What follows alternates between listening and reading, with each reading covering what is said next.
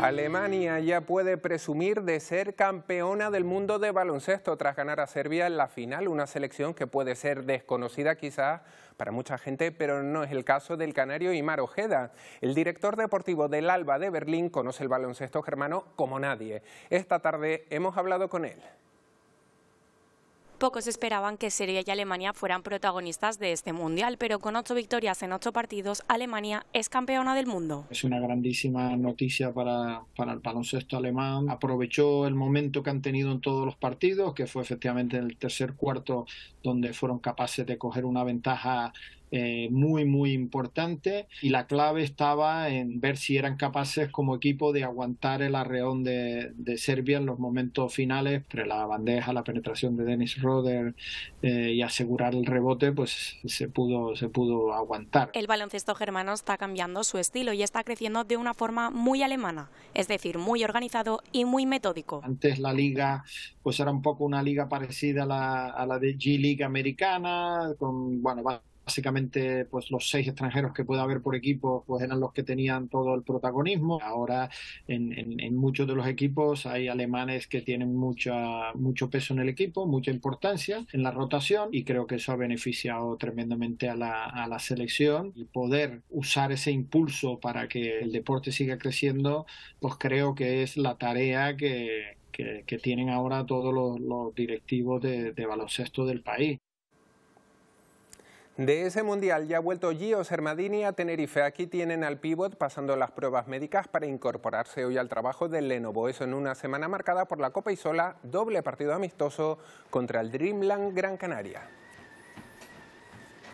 Un Gran Canaria que hoy mostró la renovación de su patrocinio con Poema del Mar. Ambos anunciaron que además van a desarrollar acciones conjuntas con el medio ambiente como protagonista. En lo deportivo, el presidente Sitafa Sabané es cauto a pesar de los buenos resultados en los recientes amistosos.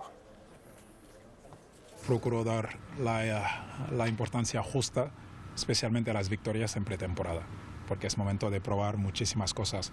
En lo que sí nos estamos fijando es cómo se están acoplando los, los nuevos jugadores, cómo jugadores jóvenes están aprovechando, pues por ejemplo, estas lesiones Venga, nos vamos a la piscina porque esta tarde hubo sorteo europeo para el waterpolo Tenerife Echeide. Ya ha quedado dentro del grupo E de la fase preliminar de la LEN Eurocup.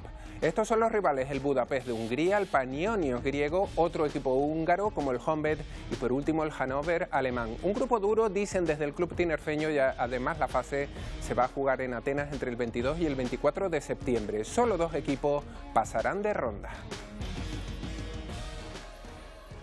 Y en voleibol, el Tenerife Libis La Laguna sigue con su pretemporada y hoy tuvo la novedad de Miguel Rivera, su nuevo entrenador, se puso al frente del grupo tras dirigir a la selección española y ahora afronta el reto de igualar o mejorar los éxitos que tuvo el equipo con Juan Diego García. Evidentemente con mucha ilusión, un proyecto nuevo, un reto diferente, eh, jugadoras nuevas, un equipo muy nuevo y con muchas ganas de hacerlo bien objetivo es tratar de estar peleando arriba, como siempre. Es un club acostumbrado a pelear por, estar en las finales y, y con esa ambición venimos.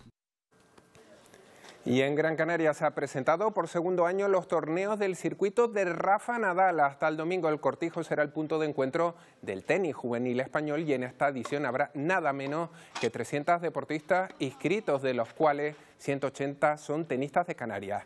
Esta será la última prueba antes del Máster de Mallorca. Esto no deja de ser una competición, contamos con las mejores raquetas a nivel nacional de cada una de las categorías y la verdad es que, bueno, pues eso, animar a todos que vengan a, a ver partidos de tenis porque la verdad es que se disfruta muchísimo viendo el nivel de todos estos niños y niñas que participan.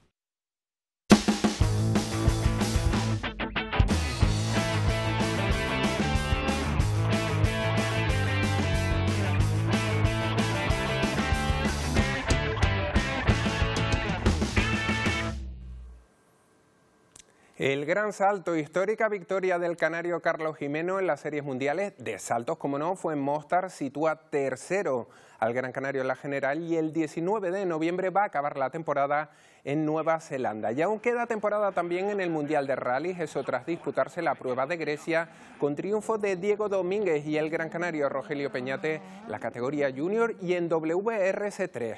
Eso supone además que consiguieron el subcampeonato mundial junior. Peñate nos ha confirmado que a final de mes correrán en Chile, también en el Mundial y puede que también en el Rally Centro Europeo en octubre.